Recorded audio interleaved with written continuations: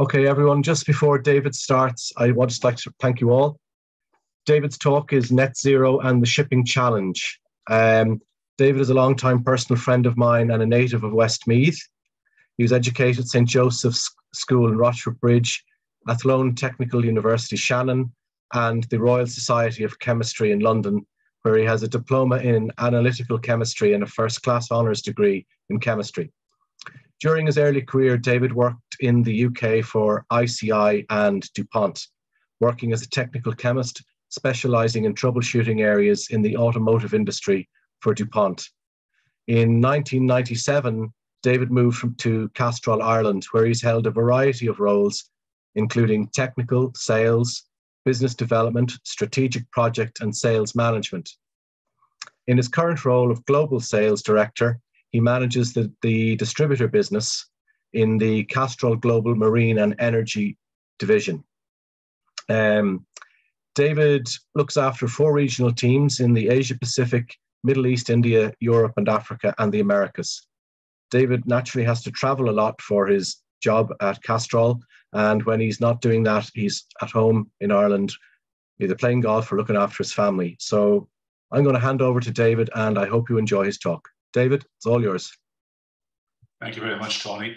Good evening, everyone, and it's a pleasure to get this opportunity to present to you. Um, hopefully, you'll find the, the topic uh, interesting. It's a little bit of a departure, I, would imagine, from some of your normal subjects, but hopefully, you'll find it has relevance to a lot of what we hear and see in the news today and um, pertinent to a lot of our daily lives as well. So, please put any questions you have into the Q&A and I will endeavour to do my best to answer those at the, at the end.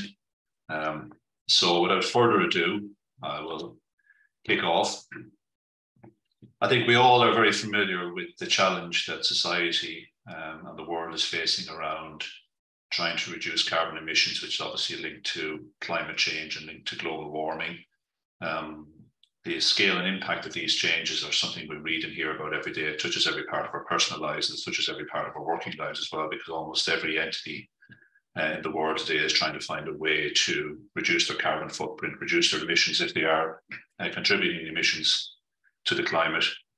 So, what this slide shows you is kind of that holistic global picture of how those th- these things are interconnected and what the various impacts are and potential solutions available to mitigate a lot of these serious challenges we're facing. So, you know, from the societal impacts that we, we see in our everyday lives in terms of what we've been asked to do in our personal lives, uh, what we're trying to do in terms of the biodiversity, um, the reforestation, you know, how how we deal with food, what we consume.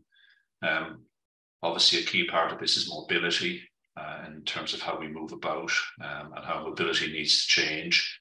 Um, so the electrification um, agenda, what that means for us as a society, what it means for the infrastructure to support that, and what it means also as well in terms of um, how the transport networks need to change and the types of vehicles or infrastructure to, to support that.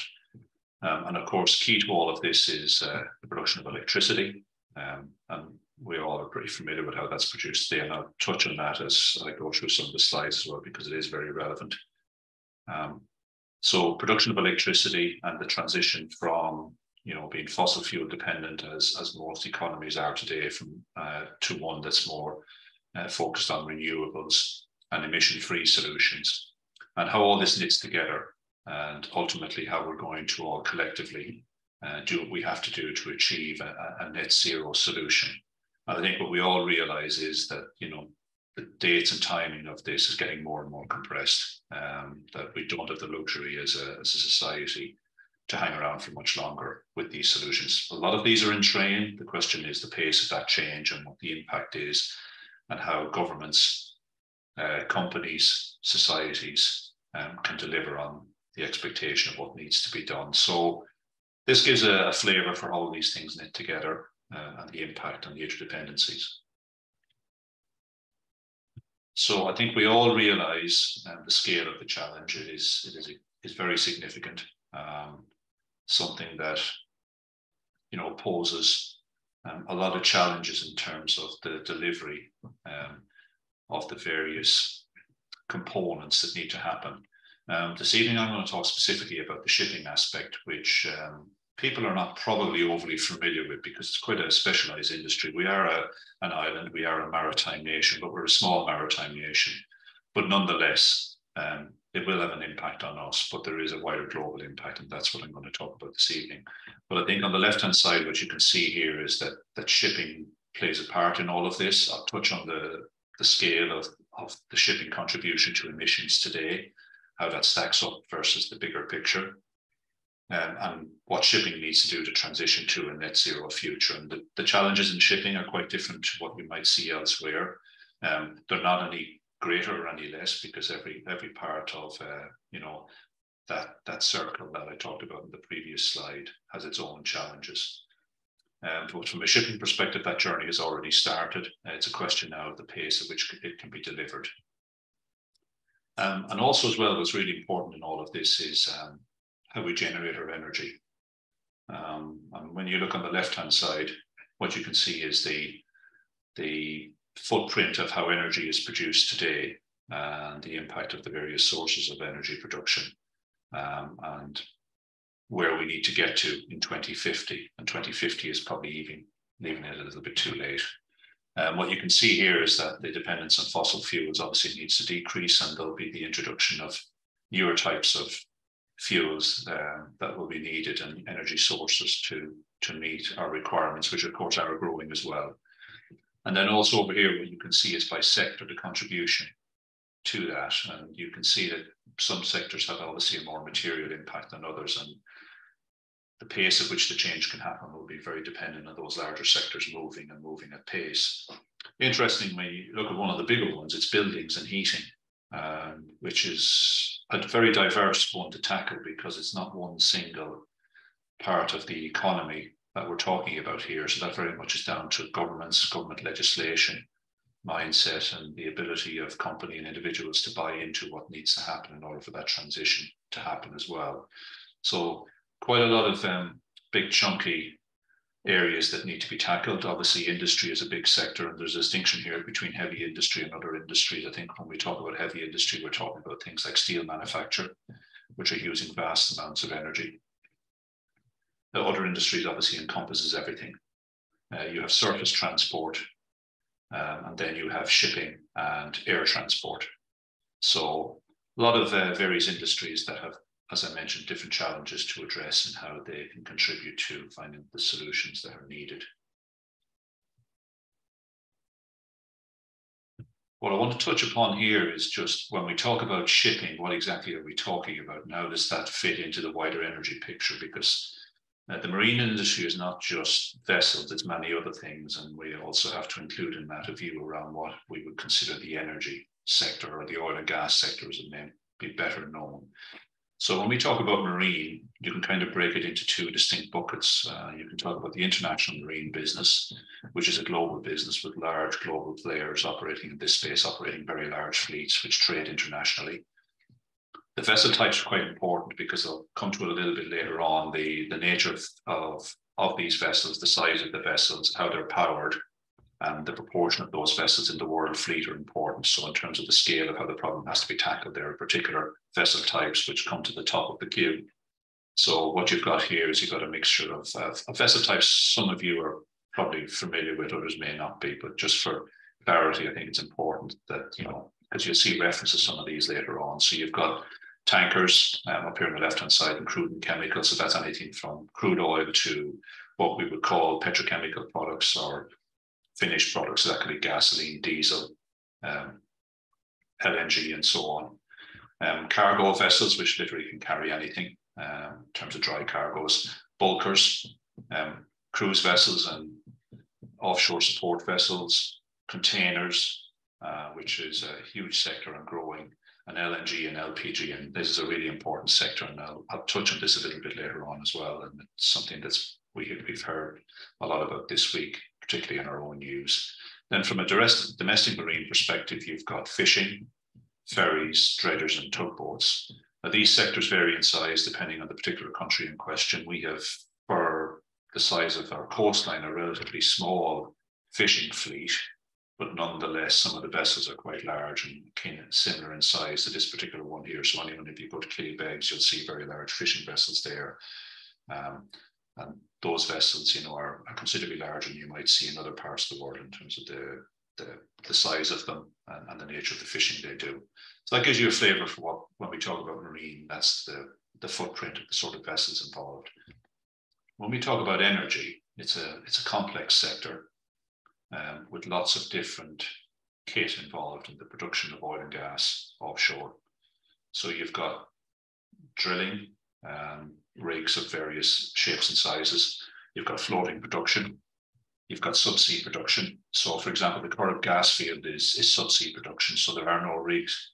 There is no topside facility, as we, we would call it, off the Corrib field. There's a couple of reasons for that.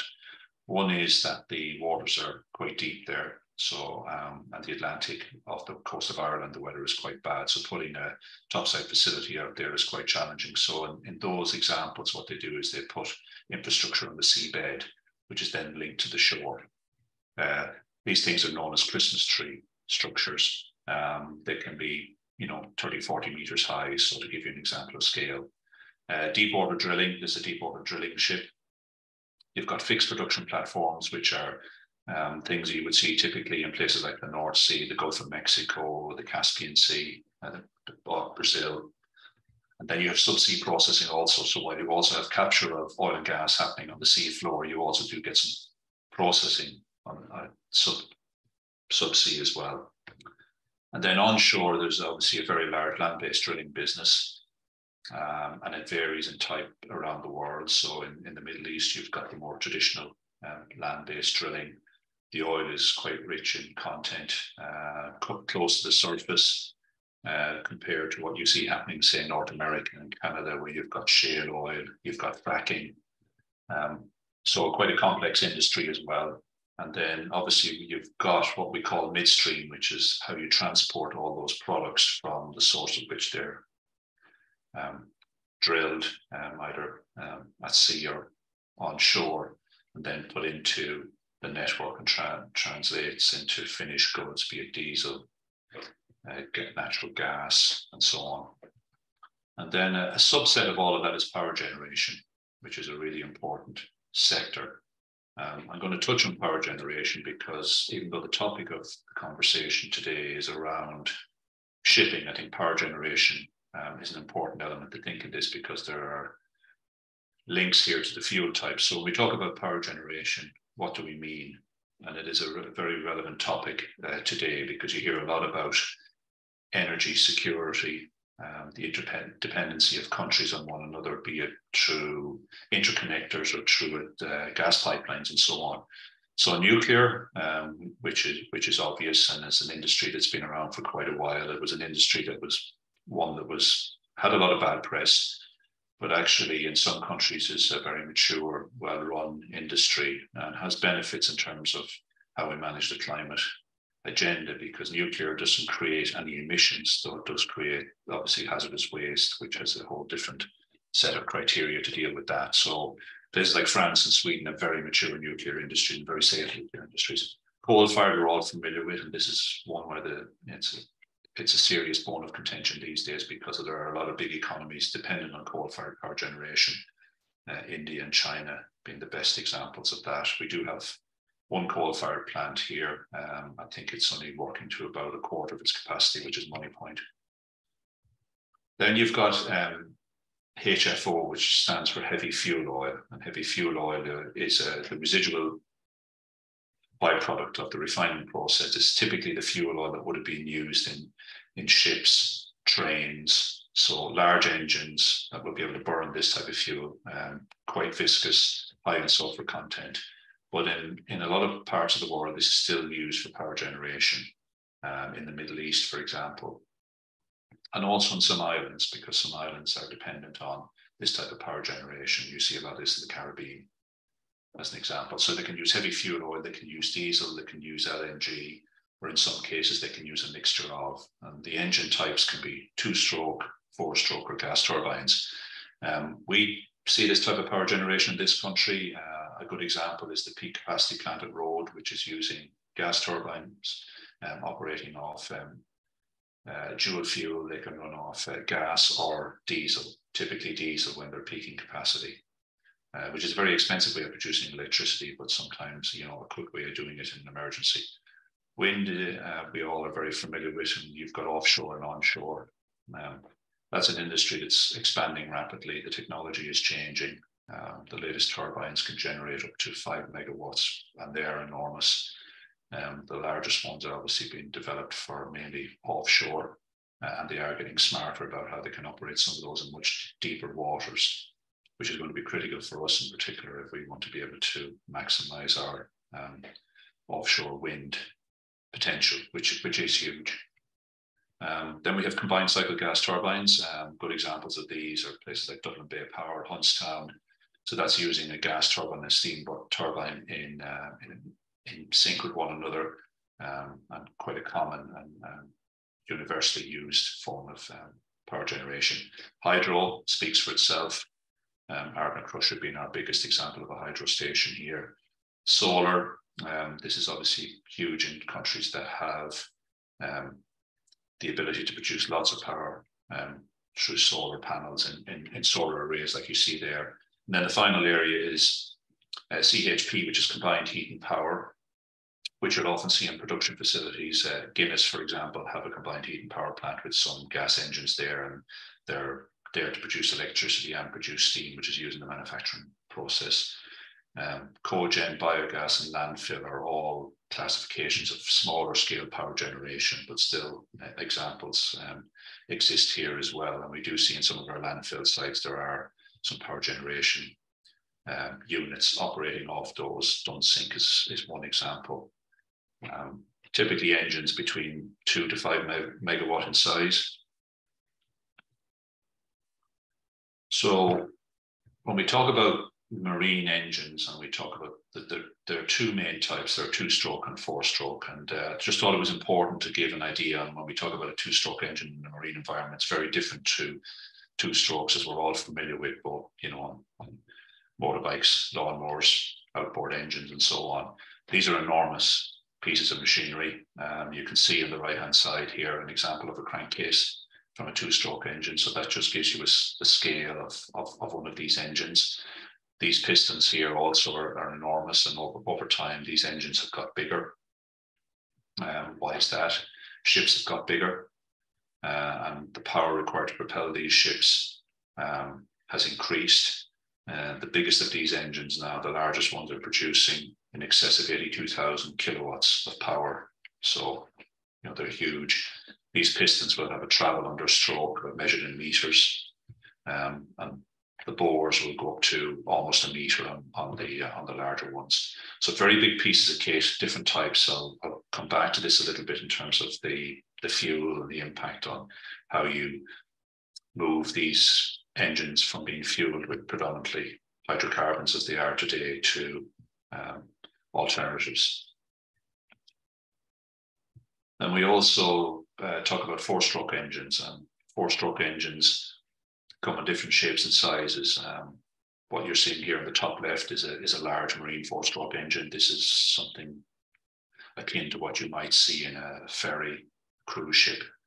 Um, they're engines that are obviously very powerful. Um, they're smaller, so they're perfect for vessels where space is a premium. So like a cruise ship or a ferry, uh, you would see multiples of them. Large cruise ships may have eight of these. A, a ferry would typically have four. So the Ulysses, for example, will have four large engines of this type. Um, different, as I say, shapes and sizes. Um, huge power output from some, particularly those used in, in military vessels because they're required to go from idling to high power, you know, very quickly. So they have to produce a lot of power very fast, but obviously consume a huge amount of fuel. And then they're also using power generation, and you see in this particular case, lots of them working in, in parallel uh, and you see this where fuel is in abundance um, and is cheaper. So places like the Middle East, the Americas, um, trying to run a, a, facility like this in our part of the world would be an extremely costly exercise. You don't tend to see power generation of this type in our part of the world. So hopefully that gives you a flavor of some of the um, ship types, uh, the power generation aspect of the bigger picture, because that has a linkage to fuels, and obviously some of the engine types um, involved in the industry that we're talking about this evening.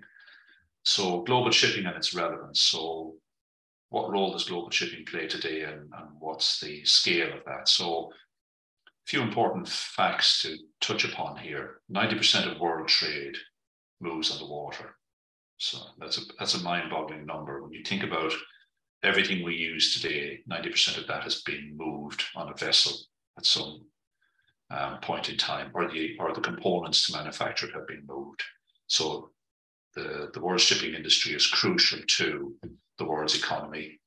I think you only have to look back at the example in the Suez Canal when the ship got wedged as to how disruptive that can be um, in terms of its impact, you know, for one vessel.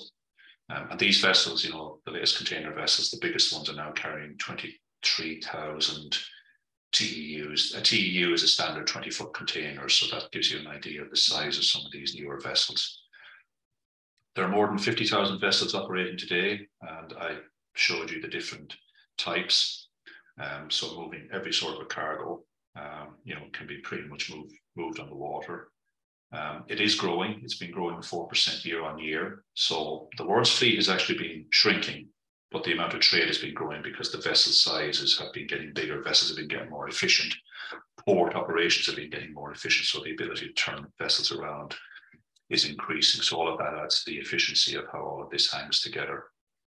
And from the perspective of global greenhouse gases, uh, the world's shipping um, footprint is about two to three percent of the global greenhouse gas footprint. That's comparable to Germany, to give you a, an idea of scale. Uh, there's some numbers there. The slides will be shared and people can look at that. It just gives you some flavor to the scale of some particular parts of the shipping industry, uh, how much uh, product is moved, what types of product are moved, and how that's growing. And pretty much you can see that uh, all these areas are, are showing uh, upward trends.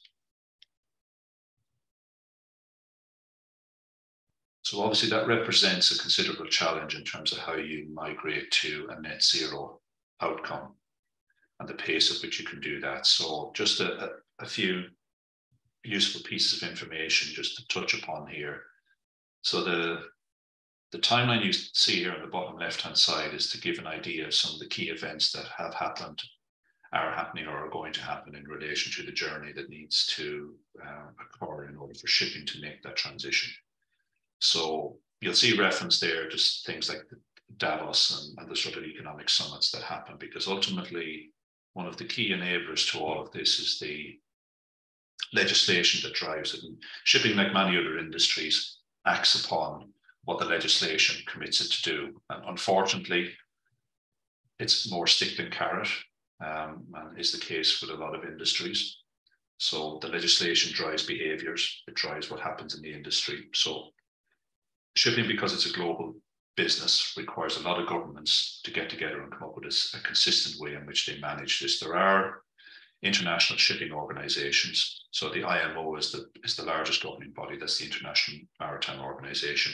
It's their purpose to set policy about how ships operate, uh, both in terms of the health and safety aspect, ship operations, but also in terms of the impact of vessels on the environment and how they operate and work, not only from the nation's perspective, but also from a waste perspective and so on. So it's a very complex area with a lot of legislation. Legislation has become more more binding over time uh, because vessel operations have become more complex. But you can see here some of the timings that um, are involved in, the, in, that transition. So the IMO and others play a huge role in, in, in this. And I'll, I'll, touch upon what needs to happen from a fuels perspective in order for this journey um, to be feasible. The graph here on the left-hand side shows you if you were to take the existing world's fleet and you were to transition it to uh, the solutions around newer fuels. Uh, and those solutions are kind of well known. It's a case of, of deploying them, but it's a mixture of building new ships and retrofitting the existing fleet. And there are a few things that were really um, critical to this. So building new ships is an activity that's cost intensive, uh, capital intensive. Um, new ships are extremely expensive entities to build you're talking about hundreds of millions of dollars. I think some of the newest cruise ships are in excess of a billion dollars, but they're not moving cargo. Obviously, they exist for a different reason. But the, the largest new container ships, you're talking about hundreds of millions of dollars. So companies investing in, in new vessels require a lot of capital investment. And that had fallen back in recent years because the credit crunch had impacted that. And a lot of people have got, have got burned in investing in shipping. Um, so it, it, it had died off a little bit the, compared to the levels, but the fleet has constantly got to be renewed. And the pace at which you can manage the transition to net zero really is going to be driven by the pace at which you can retrofit or build new vessels. The majority of shipyards are sitting in the Far East. The shipyard industry in the Western Hemisphere has been in decline for a long time. There are shipyards um, in Europe, but they tend to be smaller um, more specialized in what they do. So the majority of large scale shipbuilding is happening in places like uh, South Korea, Japan, and China. And then also from the perspective of the amount of CO2 that the industry is emitting today, if nothing was to be done, this is the trajectory of the emissions. So you can see that's pretty severe and, and, and you know, a very negative outcome in terms of climate change. Um, the purple line here is demonstrating what a 50% reduction, which was what the industry was signing up to with the Paris Agreement, uh, COP26, and so on. But actually, the pace at which the change needs to happen is, is probably faster than that, and is the blue line. So you can see that this has implications for this, it has implications for the pace at which this happens. So all these things are interdependent, um, and it is a complex jigsaw. So drilling into some specifics around this. So at the Paris Agreement, the intention was that there would be a 40% reduction in gas emissions, greenhouse gas emissions by the shipping industry. Um, 24% um, of those um, reductions um, were going to be achieved by using LNG. Um, and LNG is a really interesting part of the conversation, as it is not only with shipping, but in the wider power generation energy conversation. Because LNG, while it's a fossil fuel, is a transition fuel because it's impossible to move from a purely hydrocarbon uh, driven um, industry in terms of you know an energy source to a renewable one. There's a lot of things have to happen in order for that transition to happen. And LNG plays a role in this because it's the least polluting of the hydrocarbon fuels. It's readily available. Um, it has a good calorific value, so it produces a lot of energy. And there's a well tried and tested industry there to support it. Uh, the question uh, around LNG is that from a purely um, ethical climate perspective, it's not a green fuel. Uh, and you know the use of it can sometimes be considered greenwashing. Um, and also, there is the geopolitical aspect of LNG because a lot of the LNG is sitting in places where, unfortunately, the people in control of it are not necessarily playing by the rules these days, and that's a well documented. We all know that in terms of uh, the Ukraine war, um, what Russia's doing with LNG, and, and the LNG that's been supplied into Europe through the various pipelines. What the graphs on the bottom are, are demonstrating is the mixture of fuels that are required to make this transition and, and the percentage of those that are expected to be used, and also a distinction between two and four stroke, which I touched upon earlier. So you can see there's quite a mixture of fuels involved here. So it's not a one hat fits all scenario by any stretch. There are many reasons for that. Um, it would be impossible to switch from hydrocarbons over to another fuel type um, a single solution because the scale of the quantities involved is so vast that it's just not feasible to do that. Also, if you look at some of the fuel types here, to produce them in the quantities and have them in the locations where they're needed in those quantities would be nigh on impossible. So you've got here a mixture of hydrogen, you have the various biofuel types, you have pure electric, um, and that does exist in the shipping world, um, battery-driven vessels. You've got ammonia, which is one of the key fuels that's been looked at, methanol, LPG, uh, which is different to LNG. Then you've got LNG, synthetic and natural gas, biogas. Uh, these are hydrocarbon fuels. So you have marine gas oil, ultra low sulfur fuel oil, and very low sulfur fuel oil. And then you've got heavy fuel oil, which I touched on earlier. And you'll see plus scrubber. Uh, so what does that mean? So there are a number of vessels that are allowed to use heavy fuel oil and continue to do so today. And heavy fuel oil is differentiated by the sulfur content. So typical heavy fuel oil sulfur content is around 3%. The fuel that um, most vessels are, are looking to use today, uh, and the legislation in 2020 changed, which made it mandatory to use this unless you've got a scrubber. I'll come back to what a scrubber is is 0.5% sulfur. So unless you've got a scrub on your vessel, you've got to use a low sulfur, what's considered a low sulfur fuel. And that's a, a low sulfur fuel as we would understand it from a land-based perspective, because typically the diesel you're putting into your car is 0.01% or lower. But from a marine perspective, that's considered low sulfur. Vessels that burn heavy fuel oil, they use a scrubber, uh, can do so. The scrubber, in essence, is a, form of a catalytic converter, which is removing the nitrous oxide, sulfur dioxide that's going up the, the stack uh, capturing that um, and avoiding it being emitted into the atmosphere so the, that vessel's emissions are, are within the required levels.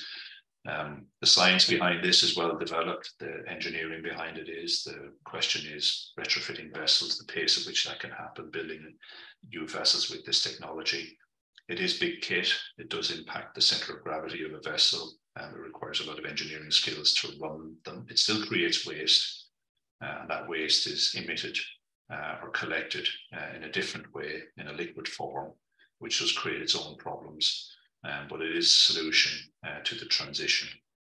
And you can see the mix there on the graphs between before 2035 and after 25. You'll see some changes in the fuel types um, as time goes on. So from the perspective of um, the future impacts of vessel type and fuel type, uh, if you remember on a, an earlier slide, I talked about the different vessel types and the relevance is that is you'll see it referenced here. So if you look at this graph, you'll see that the vast majority of the of the tonnage, not necessarily the number of vessels, because the tonnage is based on the size of vessels. So the larger vessels obviously dominate. So you've got container ships, dry bulk ships, ore carriers, that, that sort of vessel, and tankers dominate the global shipping fleet in terms of tonnage.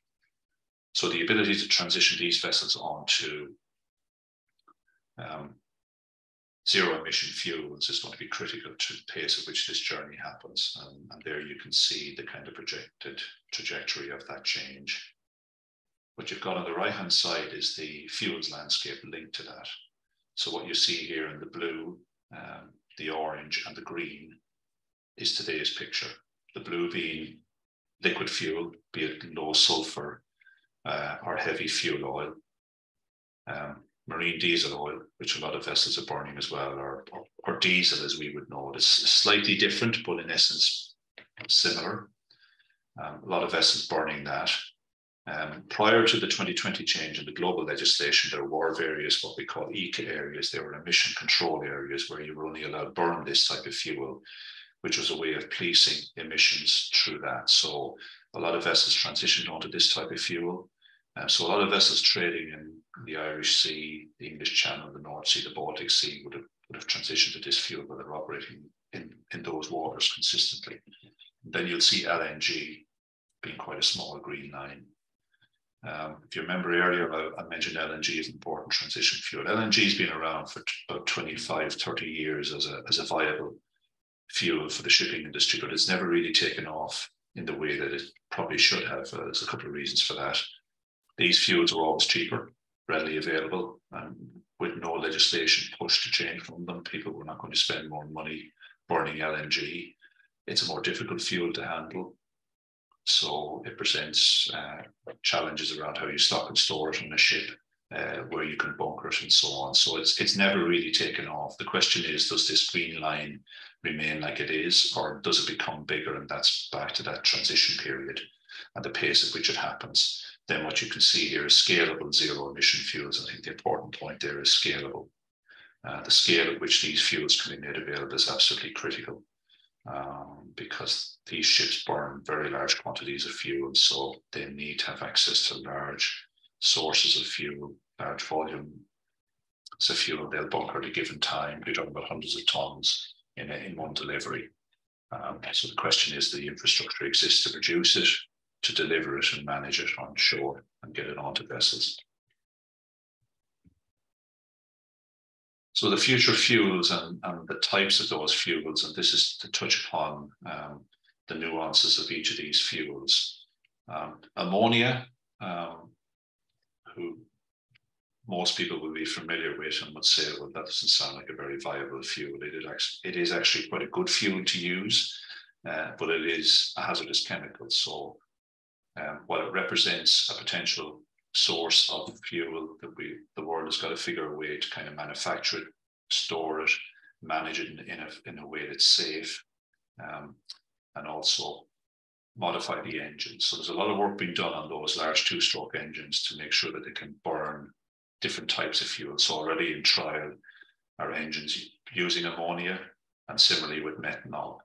Um, and the intention is to see how valid it is to power a large vessel with these fuels uh, one factor in, in the transition from one fuel to another is the calorific value of the fuel. So it's not just a case of switching out one litre for another litre of a fuel, because depending on its calorific value, you may have to carry more or less of it. Typically, with these other ones compared to hydrocarbons, you'd have to carry a lot more. So the question is, are the tanks on board of vessels sufficient in size to cope with that based on their routes, or their trading or bunkering behaviours need to change to facilitate the movement to a different fuel.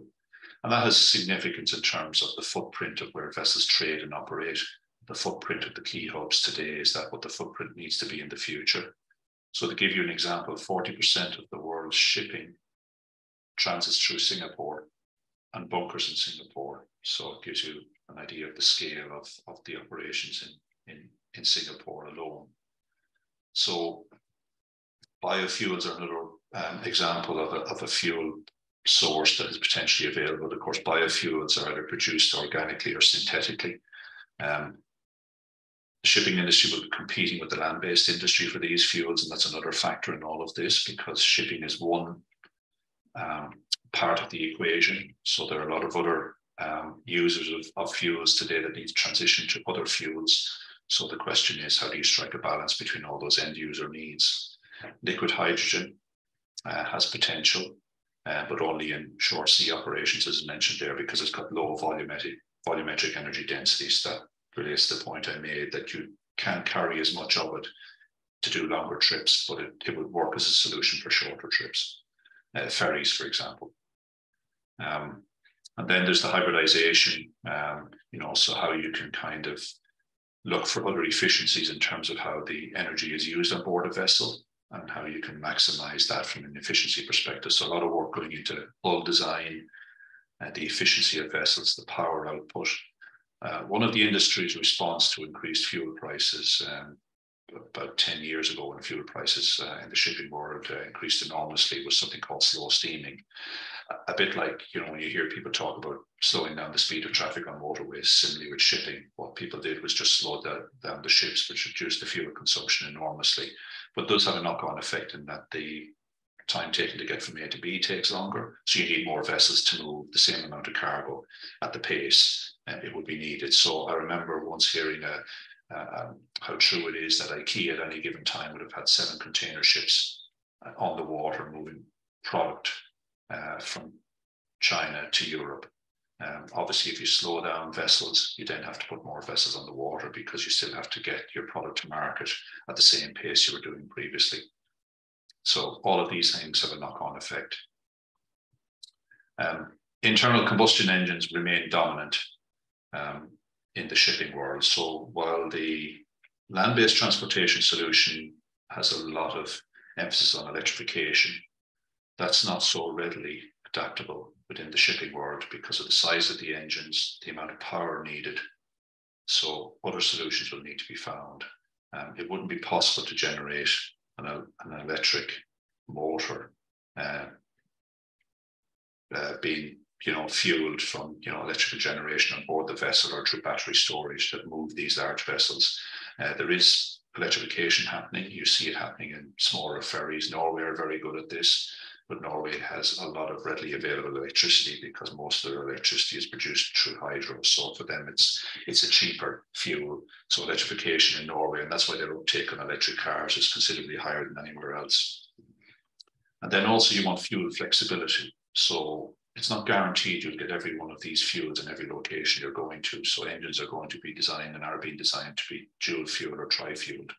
So they'll be able to burn um, LNG, um, a liquid fuel, be it you know methanol, ammonia, so uh, and, and, potentially as a backup, um, a heavy fuel oil.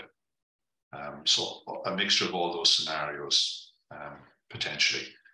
What you see on the right hand side here is how these things are going to be produced. Um, what we're seeing here in the top bit is um, green hydrogen, blue hydrogen. So green hydrogen being the electrolysis of water, producing hydrogen.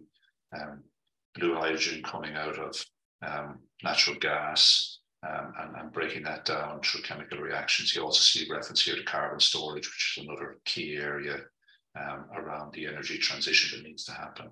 Uh, I won't go into all of this, but in essence, it's the chemistry and the petrochemical industry requirements in order to turn you know the, the source elements into fuels um, and what those fuels are and over here you'll see the emissions impact versus uh, a low sulfur fuel oil. There are of course key areas of challenge. I'm not going to go through all this in detail.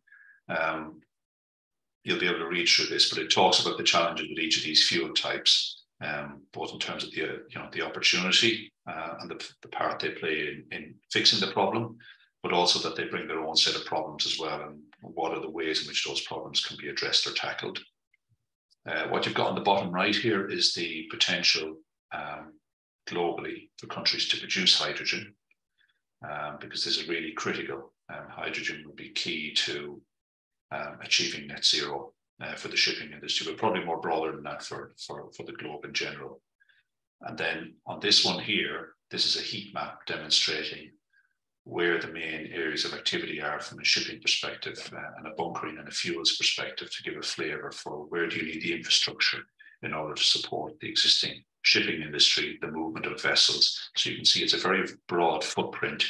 You do see concentrations in the obvious places, um, but you can see that pretty much most parts of the globe are going to have to have some form of infrastructure to support the deployment of these fuels over here. So a very complicated picture. Going to require a lot of infrastructure investment, a lot of change to the petrochemical industry and the fuels industry. So, and it has to happen at pace. And then finally, it's a, another view in terms of the uh, this transition. So ships in operation today and to give a flavor for what they're what they're using. So you know you can see the world's fleet is still using conventional fuels, um, and then getting the and, and the transition to some of these newer fuels, and you can see the percentages here. They're still very low. So the pace of this change is crucial, and, and this table and graph here is showing how that transition is going to happen. So going on the left-hand side from a hydrocarbon-dominated um, infrastructure and fuel type through to this mixture on the right hand side by 2050, which is a mixture of all these ones up here. Um, and you can see the critical decade is probably 2030 to 2040, uh, because not much is happening up to then. And that's mainly because the legislation is not going to kick in. And until the legislation drives it, it's likely the industry won't act at pace. So this is really the key critical period around the ability to get to a net zero solution in 2050 because the typical life cycle for vessels is around 15 years. So normally a vessel that's 15 years old is becoming, you know, too inefficient, too old. Uh, normally what will happen then is a, a, company will be looking to renew its fleet because in the modernization, you're know, getting a, um, a solution to, you know, having a more fuel efficient vessel. It's also got efficiencies around cargo handling, crewing options. They are exploring um, remotely operated vessels as well. So all of these technologies, in order for them to land, are going to be required to happen on new vessels. So that's all part of the transition as well. So hopefully you found that interesting. Um, there was a lot to get through. Uh, the slides will be shared. Hopefully you get the opportunity to um, study some of this if it's of interest to you in a bit more detail. Um, and it was a pleasure to get the chance to talk to you this evening.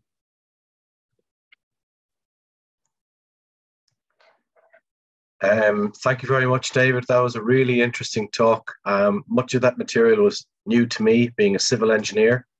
Um, I found it really, really interesting, and thank you again. There's a couple of questions in. Um, the I'm going to ask the first one because it might be the only opportunity I get. Uh, so we've heard a lot in the news this week about Ireland's energy security and the possible options around LNG storage. Just how practical is this, and what does it mean for our plans to transition to renewable sources and remove our resilience on gas? Yeah, so it's a it's a really important topic at the moment, and, and, and one I think that we're going to hear a lot more about. I think the the war um, Ukraine Russia war has kind of driven this to probably a, a point where it was going to get to in terms of interdependency on, on Russian gas um, across Western Europe.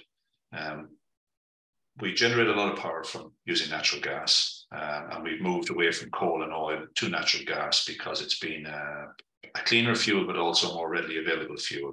Now that dependency is becoming an issue. Um, uh, the pace in, at which we've changed over to renewables in Ireland has been quite slow. Uh, you know, we haven't we haven't done it at the pace that they've done it in other countries. When you look at our offshore wind um, infrastructure compared to what you'd see in the North Sea or uh, in the Baltic, it's, it's it's very very different. So we do need to address this, and you know, we're not going to be able to address it quickly. These are big infrastructure projects that that won't happen overnight the talk around LNG and storing LNG and is, is important because the current gas field has a finite life. and it runs out, we're going to be dependent on a gas that comes here through pipelines from other sources, be it Norway or elsewhere.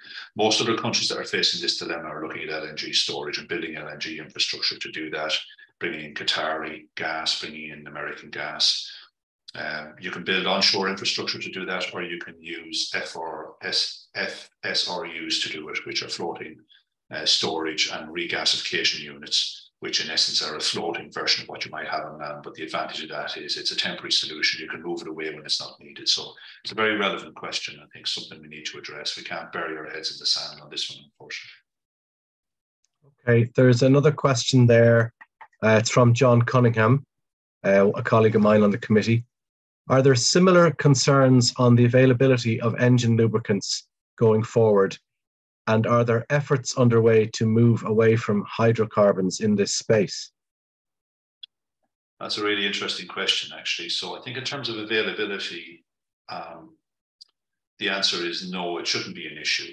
Uh, the biggest risk to availability these days are all the global disruptors that we see impacting everything else. So the ability to have the right products in the right place is, is a real challenge for the industry I work in these days not necessarily linked to the availability of raw materials, but that infrastructure is creaking and groaning um, as well. So it's a big factor. The types of lubricants needed to, to for these engines is going to change, and that transition is already happening. So there's a lot of things are going to change in the lubrication um, industry around these engines. I mean, ultimately, these engines will still require lubrication, unlike electric vehicles. So there will still be a requirement. And one of the key differentiators between a two stroke and a four stroke engine is that a two stroke engine is burning the lubricant. So a large two stroke engine is probably consuming anything between 100 and 300 litres of, of, of engine oil a day through the combustion process. Yeah. Okay, um, there's one or two others coming in. Um, this question's from Gareth Cleary. Uh, which of the alternative fuels shows the best promise, e.g., is it ammonia and hydrogen? And why is hydrogen not suitable for long distance shipping? That was one I was going to ask as well. Well done, Garrett, and beating me to it. Yeah, um, two good questions. Um, I think the answer to the first one, the jury is still out. Uh, the bets are on ammonia and methanol in the short term as being the, the best solutions to replace um, hydrocarbons. Uh, the longer term best bet is around hydrogen in the most available and easily produced and cost effective form, which is probably green hydrogen. One of the problems with hydrogen is that it's difficult to manage and handle. Um, also, you need large storage tanks. So, the ability to use it on long voyages, you, you would have to do an awful lot of changes to the storage capacity on board vessels to use hydrogen. Um, if you think of airships, uh, as a good example. And you think about how much hydrogen is in an airship. You know, you can imagine trying to move a vessel with hydrogen. So that's why you, you don't. It, it's the case of scalability. You can make it into a liquid form, but then you've got to introduce, you know, a lot of energy around reducing the temperature and getting down to extremely low temperatures. So challenges in that regard. Okay, we've another one or two. Um, this one's from Endebusi MOK. I hope I've pronounced that correctly, and apologies if I haven't. So the question is, transition period on the use of alternative fuels could be very long. Also, the storage requirement of these alternative fuels could be challenging. Are there any movements in industry in that regard, or are they preparing in any way? Um, the answer is yes, but the question is, is the pace sufficient to deal with the challenge? And I think that's where the dilemma lies. So when I talked earlier uh, in the in the presentation, I talked I talked about the jigsaw of, of legislation and, and, governments and international bodies that all need to come to a common consensus about how all this fits together the challenge is getting all those bodies to agree. And I think we can all see from COP26, you can sit everyone down in a room, but trying to get everyone to come to a consensus around what is the pace at which you get to a, a, net zero future is extremely difficult. And different countries and different economies have different views on this because they're facing their own pressures for different reasons. So I think the pace at which shipping is going to make that transition will be very much driven by the legislation because unfortunately, a lot of people would sit back unless they have to do it and it's a compliance issue. Okay. Um, there's one more question here from Ken Rooney. With the re- with the reduced reliance on petrochemicals over time, how will hydrocarbons for polymers, etc., be produced? Medical polymers are very important, for example. Yeah, it's a really good point, Ken, because you know I think a lot of people when they think about uh, hydrocarbons. They just think about the hydrocarbons we use as fuels, but actually hydrocarbons are used in an awful lot of other things, like the areas you've referenced. And we have a massive dependency on plastics.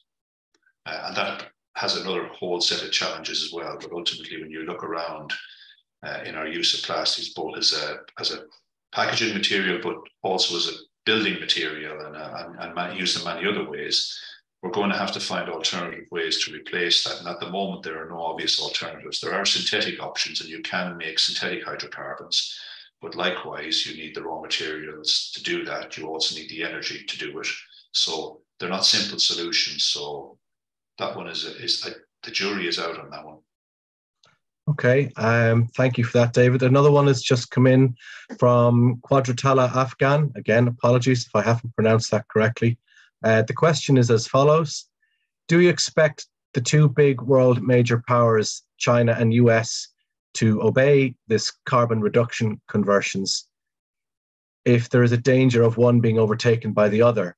As obviously, some of these replacements to hydrocarbons are not economical. That's a big that's a big question because it gets into the realms of geopolitics and the pace at which those countries are willing to adapt.